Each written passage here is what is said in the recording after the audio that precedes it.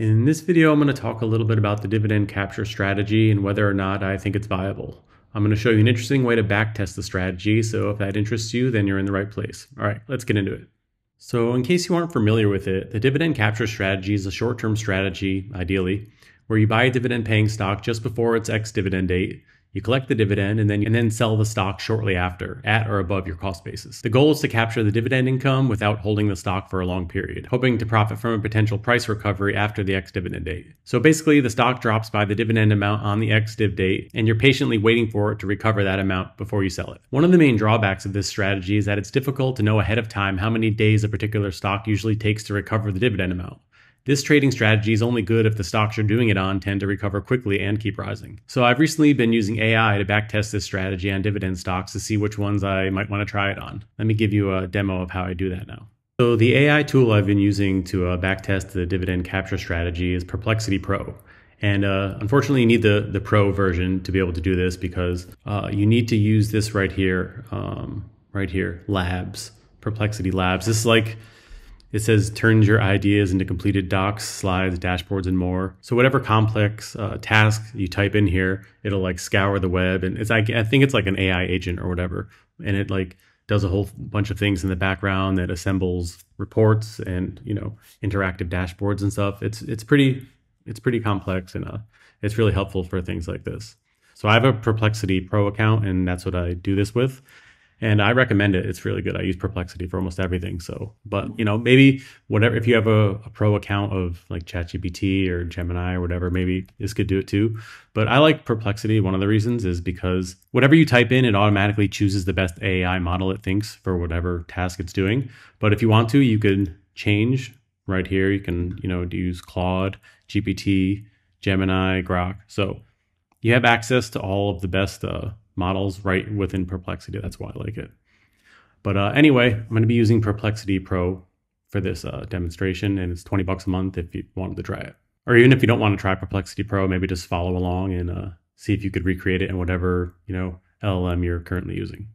So before I actually go into the uh, AI tool and just start, you know, typing a bunch of stuff and then have it go on its way, I like to just go into my text program and you know carefully craft the prompt because the prompting is like the most important thing out of this whole thing. So if you don't have a good prompt, you're not going to get good results. So, you know, just take your time and and create the prompt like in a lot of detail so the tool knows exactly what it's supposed to do and uh, be very specific and then you should get good results. So this is what I came up with and what I've been using. It says I'm looking to use the dividend capture strategy.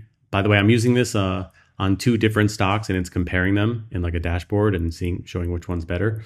I said I'm looking to use the dividend capture strategy on either company name one, and I'd replace this with a company with a ticker and put the ticker right there, or company name two and then ticker two around their respective dividend events. I would like to buy $20,000 of each stock one day before their respective ex-div dates, and so I would be entitled to the dividend, and then sell those shares after the ex-div date only when the price is at or above my purchase price. My profits would be the dividend income and any share price appreciation. You can close the position, presumably for a loss, after 30 days if it fails to reach my purchase price. Please backtest this strategy for both of these stocks for the past eight dividend events using historic stock prices from Yahoo Finance. Calculate the win rate, days in trade, cumulative days in all trades, ROI, and the annualized ROI for each event and overall, and any other stats you think would be helpful. Please include tables and charts. Then build an interactive dashboard so I can clearly see the winner. Thanks. All right, so uh, you know you could change this however you want, but I found this gives me pretty good results.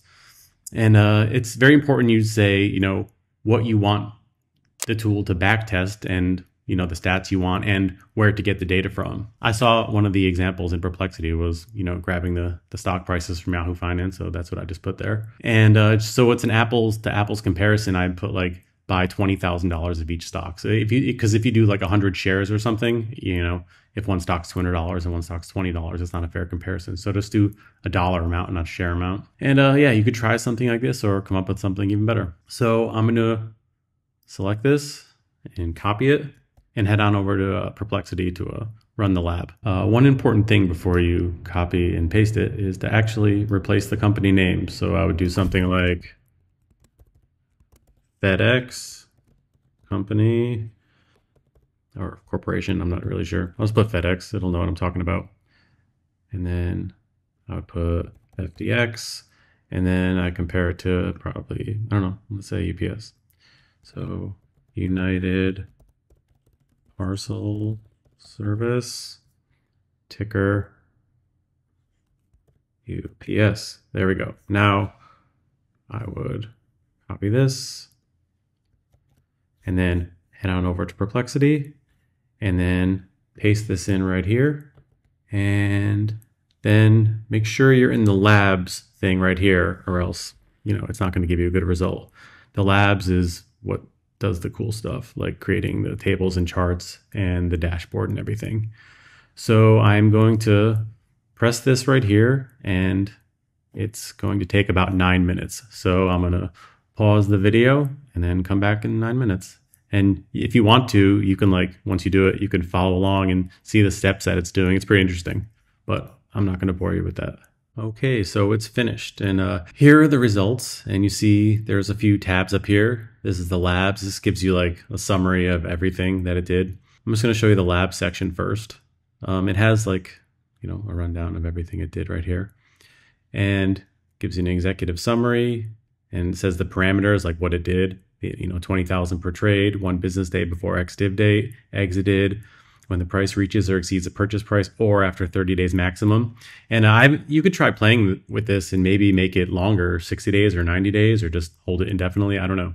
But uh, I just did 30 days because I was only back testing for the last 2 years, so if you're saying exit after like, you know, 120 days or something, that might give you weird results because you're only holding it for 2 years. But uh, anyway, back test period if you maybe if you didn't mind uh, you know this process taking longer than nine minutes to generate. Maybe you could do more dividend events. It'd probably take a lot longer to, to generate, but maybe you want to do that. And it says where it got the data from. And it gives you a nice table here and it shows you the winner. Uh, obviously, UPS was the winner here. And it shows you the uh, individual trades. And uh, I'll, I'll go more into this in the app later, but I'm just skipping this to get to the summary. Okay, blah, blah, blah. Investment recommendations. So it tells you at, at the bottom like what it recommends to do. So it says for UPS, it's recommended and it's a superior historical performance for dividend capture and shows you the advantages. And FedEx, it says not recommended. So uh, the conclusion, it demonstrates UPS's superior choice for dividend capture strategy. And it shows you all this stuff. And now let me go to the app. This part's uh, really cool. So it generates a, a cool little app for the for the whole back test. And it shows the clear winner right here, and it shows you why, and higher total returns, better average ROI, better risk management. It shows you the performance summary right here. Average days in trade, this is helpful because you don't want to be in these that long. You know, it's a, a dividend capture strategy, not a, a buy and hold strategy. So you want to get get out of there pretty quick. A lot of these tests I've been doing, I'm going to show you a couple over here. Some of them are like less than two days average. So so these results actually weren't that great, but you know, UPS is not not bad. And you can see FedEx here. It actually did really well except for the one huge loss. And uh, here's UPS. Had one decent size loss, but not as big as the uh, FedEx. Has performance visualization. And this one, cumulative performance, is pretty indicative of uh, the final results. So UPS was a lot better. And for key insights, it's, you know, it says some right down here. And uh, don't know why it won't let me scroll in here, but there's three more boxes. I can't scroll right now. But uh, yeah, so that's the app it generates. And for assets, you could see where, you know, did all the, the Python coding and everything behind the scenes, which is pretty cool, and all the charts. And the tasks, and this is uh, the tasks it gave itself to be able to go around and fetching the proper data and do doing whatever it had to do to to figure this out. Pretty interesting process. But uh, these are the results for uh, just for a test for FedEx versus UPS. And now I'm going to uh, show you a, few other results for a, a, few other stocks I did. So for this back test, I did HP uh, Inc. versus Regency Centers.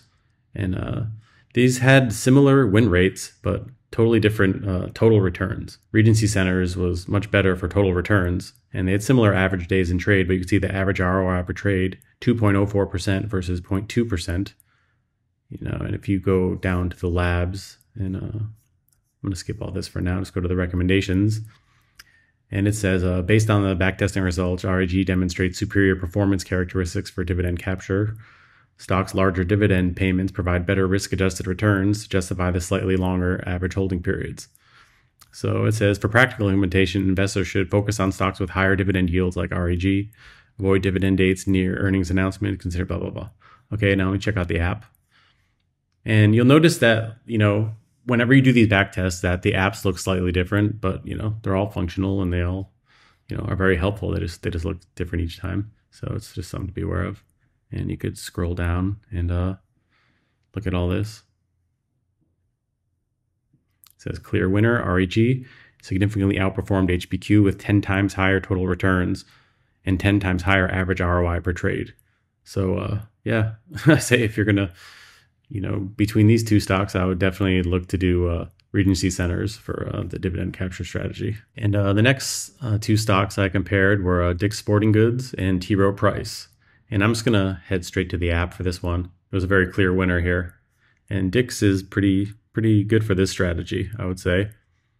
At a 100% win rate, total ROI of 2.84%, and uh, average days in trade 2.2 you know, just if you want to do the uh, the annualized returns for that, two point eight four percent, you know, for two days in a trade, that's pretty good. And when you compare it to T Rowe Price, your average days in trade are twenty three point nine.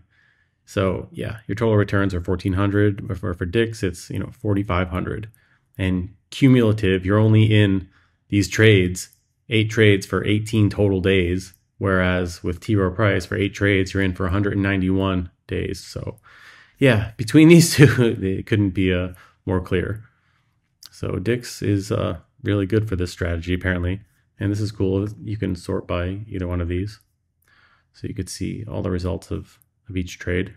It's pretty clear that uh, Dick's is, is the, the winner of this one. And, you know, if you wanted to, I would read through all this lab stuff. It gives a lot of interesting info, actually.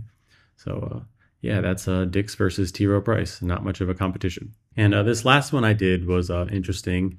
This is uh, with Coca Cola versus American Tower. And uh, they both had, you know, 100% win rate, which is good.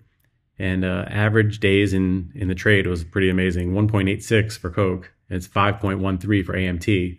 But you look at the overall ROI, and AMT actually had more, and the total returns were more because uh, AMT has a much higher dividend yield. So that was probably what that could get uh, chalked up to.